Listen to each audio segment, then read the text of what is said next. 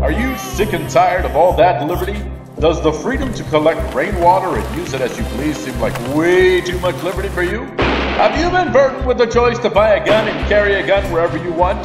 Did your child run a snow removal business in the neighborhood without getting a government license? And that type of freedom sickens you? If you answered yes to any of these questions, then we have a show for you not to listen to. State of Wake at stateofwake.com is not the show for people who are sick of the burden of freedom and liberty. If you actually love freedom and you're ready to face how much freedom you actually have under Daddy Gov, then State of Wake is the show for you.